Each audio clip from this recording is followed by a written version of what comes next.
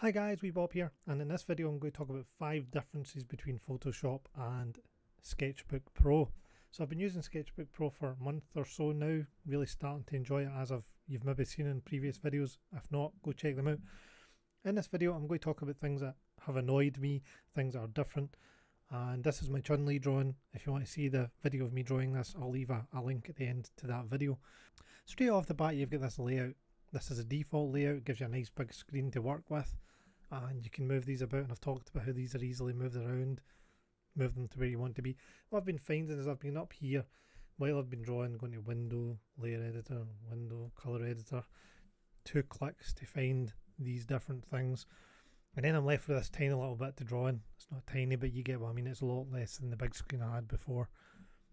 What I've found is these three icons here are the ones that make my life a lot easier. I can get rid of the majority of the large dialog boxes, giving myself again this big space to work with.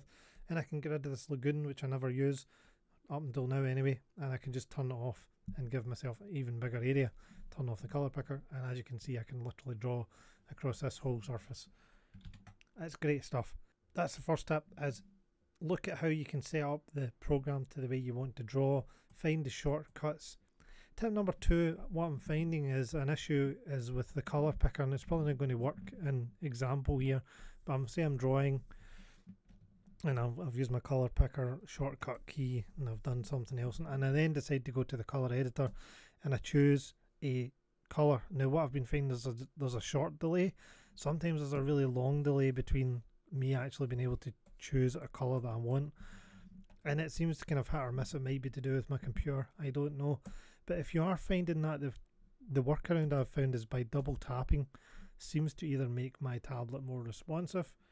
Like it says, it may be the Huion Kamvas Pro. I haven't tried on anything else, but that is one of the things that's been annoying me recently. Is just again, there's there's an example. So I'm moving my cursor. You can't see that. You can maybe hear it. Eventually, the computer caught up with me, and then worked. But if I double tap, I immediately get that responsiveness. So it's certainly something that maybe it's an old computer issue, it could be the screen issue, eh, one for you to watch out for. One of the things I like is these perspective rulers, which I've talked about, being able to draw a kind of skyscraper very easily, a 3D object very easily. But what I've been finding is when I try to draw a small line, it doesn't work straight until you've went a certain distance. I'm just going to bring the size up because my brush is too small. But that took, if I turn off the perspective, it took me to draw that distance before my tablet registered it. Now, it doesn't seem to be a problem with my tablet because my tablet draws normally. It's not like it's doing this idea that I need to do a minimum line for everything it does seem to be a, an issue with the program, and I haven't really found a workaround for that issue other than having to zoom in. So if I, if I do zoom in on that area, I could get a smaller line, but I am still having to go a minimum distance before that line appears. In this case, it's, it's that length there. And if I want to go even more detailed, I then need to get even further to get that kind of refined detail, which is a bit of a pain. So that's another nuisance which I haven't quite found. It's not proven to be a major major problem for me, but it is more just of a, a nuisance. Number four, text is pretty basic. If I write the word red, but there's not really much else to it that you can do. And that's strike through, you can underline, but it's pretty basic stuff compared to Photoshop. I mean, if I go, the last one is, is in Photoshop, so I'll show you the difference between the text in Photoshop and the text in Sketchbook Pro. The fifth issue I'm having is color correction. So if I take you over to Photoshop just now, this is a Photoshop drawing I did of a dragon and a girl. I'll put a card at the end of the video for you to go and watch that if it's something that you're interested in.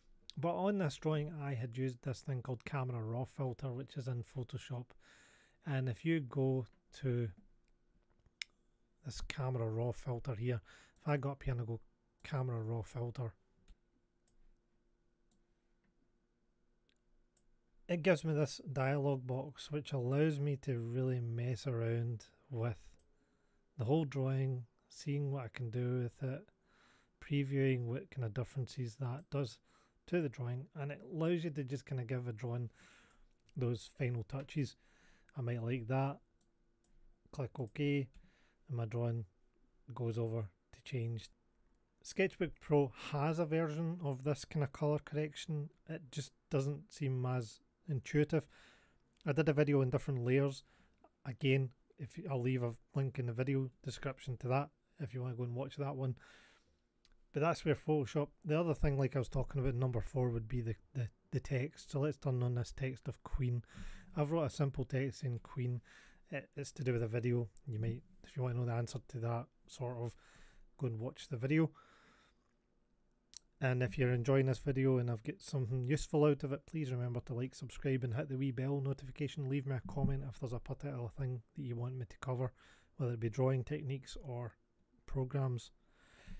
But when you do a text layer in Photoshop, you can double click that layer and up will come layer style and I can do a bevel which gives me a nice effect.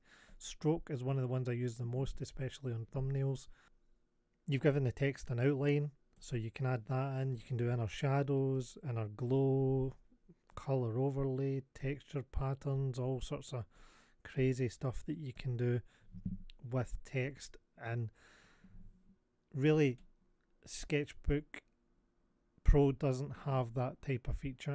That's the five differences I've found so far. Five kind of different things, whether it be specifically to Sketchbook Pro or the difference between Photoshop and Sketchbook, things that it does better, worse. I really do like this ability to get my layout and get this massive screen that I can work on. It's it makes a massive difference to to the drawing process, being able to see the other aspects of the drawing while you're you're drawing away. Thank you very much for watching.